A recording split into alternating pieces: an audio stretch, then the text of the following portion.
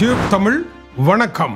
சற்று முன் கிடைத்த அவசர செய்தி பாலஸ்தீனத்தை தனி அரசாக நோர்வே அங்கீகரித்தது. இன்று காலை எட்டு முப்பது மணிக்கு நோர்வேயினுடைய states minister Jonas Gahr Støre இந்த பத்திரிகையாளர் மாநாட்டை நடத்தி இக்கருத்தை தெரிவித்திருக்கின்றார். நோர்வே நாட்டிற்கு இஸ்ரேல் நாடு நட்பு நாடுதான். ஆனால் இரண்டு ஸ்டேட்களை கொண்ட பாலஸ்தீன தனியரசுகள் உருவாகாவிட்டால் இந்த பிரச்சனையை தீர்க்கவே முடியாது என்பதனால் நோர்வே இந்த முடிவிற்கு வருவதாக அவர் கூறியிருக்கின்றார். பாலஸ்தீனத்திற்கு இரண்டு ஸ்டேட் அரசுகளை உருவாக்குவது நம் எல்லோரும் பொறுப்பேற்க வேண்டிய விடயம் என்றும் அவர் கூறியிருக்கின்றார். இருபத்தி எட்டாம் திகதி மே மாதம் பாலஸ்தீனத்தை நோர்வே அங்கீகரித்தது குறிப்பிடத்தக்கது. இதனால் ஆத்திரமடைந்த இஸ்ரேலிய வெளியுறவுத்துறை அமைச்சர் உடனடியாக இஸ்ரேலில் இருக்கும் நோர்வே தூதுவரை அழைத்து தமது அதிருப்தியை தெரிவித்திருக்கின்றார். கூடவே அயர்லாந்து நாடும் இவ்வாறு அங்கீகரித்திருக்கின்றது. அவர்களும் அழைக்கப்பட்டிருக்கின்றார்கள். ஆனால் அடுத்தடுத்த நாட்கள் நாட்களில் ஸ்பேனியா சுலவேனியா போன்ற நாடுகள் பாலஸ்தீனம் இரண்டு ஸ்டேட் தீர்வு வேண்டும் என்றும் அதுவே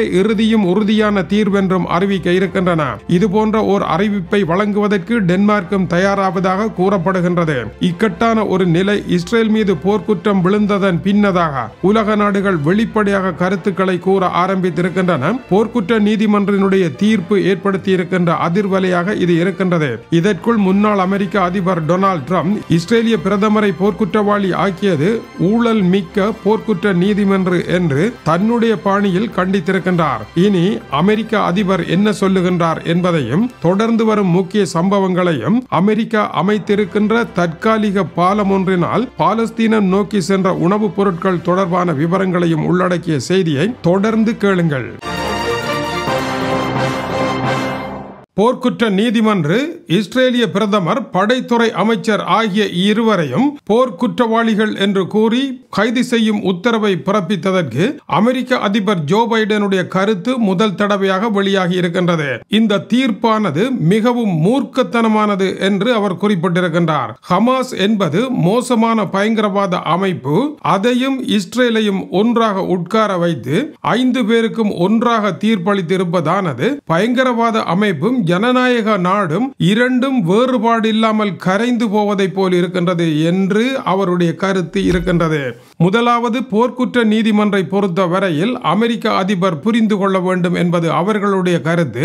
பட்டினியை ஓர் ஆயுதமாக இஸ்ரேலிய பிரதமர் பயன்படுத்தினார். இஸ்ரேலிய படைத்துறை அமைச்சர் அதற்கு துணை போனார். இரண்டாவது வேண்டுமென்றே கொலைகளை செய்தார்கள். கொலைகளை தவிர்க்க வேண்டும் என்கின்ற நோக்கம் அவர்களிடம் இருக்கவில்லை. மூன்றாவது அழிவு வேலைகளை தெளிந்த மனத்துடன் அவர்கள் செய்தார்கள். இந்த மூன்றையும் அந்த களத்தில் நடைபெற்ற மரணங்களும் அங்கு நடைபெற்ற தாக்குதல்களையும் பார்க்கின்ற பொழுது தம்மால் திட்ட தெளிவாக காண முடிகின்றது என்று போர்க்குற்ற நீதிமன்றத்தினுடைய தலைமை நீதிபதி கரீம் கான் கூறியிருக்கின்றார். சுமார் பத்தொன்பது நிமிடங்கள் நாற்பத்தி ஏழு செகண்ட்கள் வரை அவர் தொடர்ந்து உரையாற்றி இருதரப்பும் இழைத்த குற்றங்கள் என்ன என்பதை உலக தலைவர்களுக்கு சொல்லிவிட்டு தான் இந்த தீர்ப்பை வழங்கியிருந்தார். இந்த இடத்தில் ஹங்கேரி நாட்டினுடைய பிரதமர் விக்டர் ஓர்பான் ரஷ்ய அதிபரனுடைய நண்பர் இது அபத்தமான முடிவு என்று கூறியிருக்கின்றார்.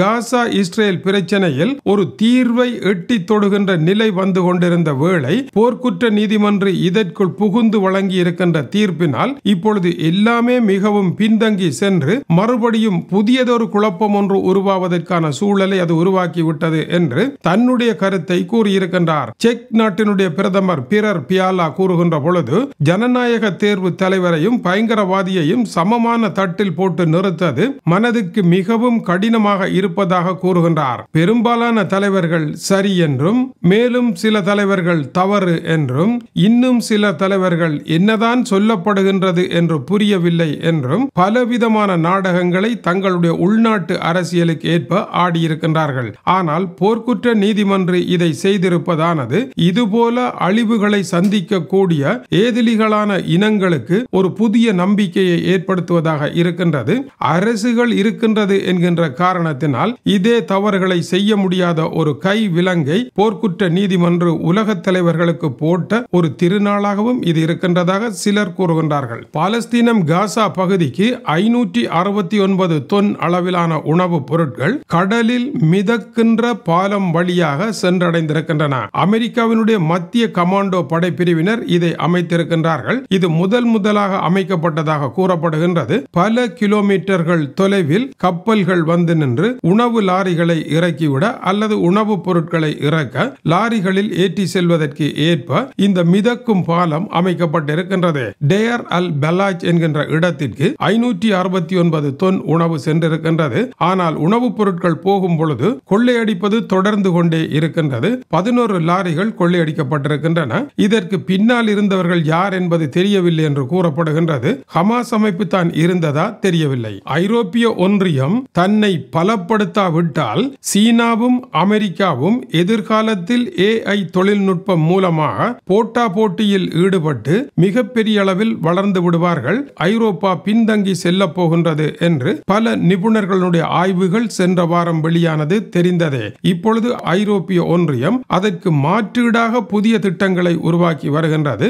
ஐரோப்பிய ஒன்றியத்தில் இருந்து பிரிக்ஸ்ட் மூலமாக பிரிட்டன் வெளியேறி இருந்தாலும் கூட மேலும் பத்து புதிய நாடுகளை இணைப்பதற்கான பணி நடைபெற்றிருக்கின்றது. ஐரோப்பிய ஒன்றிய நாடுகளில் அமைதி நிலவ வேண்டுமாக இருந்தால் நாடுகளினுடைய எண்ணிக்கை பலம் கூட வேண்டும். இரண்டாவதாக ஐரோப்பாவில் ஸ்திரத்தன்மை நிலவ வேண்டும். மூன்றாவதாக ஐரோப்பிய மக்களுக்கு சந்தைப்படுத்தல் விற்பனை என்று மிகச் சிறந்த வாழ்க்கை உருவாக்கப்பட வேண்டும். இன்று இந்தியாவும் சீனாவும் வெற்றி நாடுகளாக வருவதற்கான காரணம் சனத்தொகையினுடைய அதிகரிப்பும் சந்தை வளம் வளமும் என்பது முக்கிய விடயமாகும். ஆனால் அன்று ஏழை நாடுகளில் சனத்தொகை அதிகமாக இருப்பதே அவர்கள் ஏழ்மையாக இருப்பதற்கு காரணம் என்று மேற்கு நாடுகளினுடைய நூல்களை எடுத்து ஏழை நாடுகளினுடைய பாட புத்தகமாக வைத்திருந்ததும் அவர்கள் குடித்தொகை பெருக்கத்தில் தோல்வியடைந்ததும் பின்னர் நடைபெற்ற சம்பவமாகும். எனவே இந்த இடத்தில் ஐரோப்பிய ஒன்றியம் இந்தியா சீனா போல மிகப்பெரிய குடித்தொகை கொண்ட ஒரு வல்லரசாக மாற வேண்டும் என்பதுதான் முக்கியமாகும். பத்து நாடுகளை புதிதாக இணைக்கின்ற பொழுது அந்த நாடுகளினுடைய குடித்தொகை மிகப்பெரிய பலத்தை தரும். ஆனால் இந்த நாடுகளில் மிகச் சிறந்த ஊழல் அற்ற நீதித்துறை இல்லாவிட்டால் ஐரோப்பிய ஒன்றியத்தில் சேர்க்க முடியாது. இரண்டாவது ஊழல் மிக மிக மிக குறைவாக இருக்க வேண்டும். ஊழலை வைத்துக் கொண்டு ஐரோப்பிய ஒன்றியத்திற்குள் வந்து ஊழையிட முடியாது. ஐரோப்பிய ஒன்றியத்தினுடைய தலைவர் சார்ல்ஸ் மிக்கேல் கூறுகின்ற பொழுது இரண்டாயிரத்தி முப்பதிற்கு உள் இது சாத்தியமாகும் என்று கூறியிருக்கின்றார். அதேவேளை சில நாடுகளில் மிகப்பெரிய சீர்திருத்தங்களை செய்ய வேண்டி இருப்பதாகவும் அவர் தெரிவிக்கின்றார். பலரால் தகுதி பெற முடியாது. அதேவேளை பிரான்சும் ஜெர்மனியும் நீங்கள் குறிப்பிடுவது போல பத்து நாடுகளையும் எடுத்துக்கொண்டால் இந்த நாடுகளினால் தகுதி பெற முடியாது. எனவே அடிப்படை சட்டத்திலே சில மாற்றங்களை செய்வதன் மூலம்தான் தளர்வு படுத்தினால் மட்டும்தான் இவர்களை உள்ளே இணைக்கலாம் என்று கூறியிருக்கின்றார்கள். ஏற்கனவே துருக்கி உக்ரைன் ஜோர்ஜியா நாடுகள் வருகின்ற வழியில் நிற்கின்றன.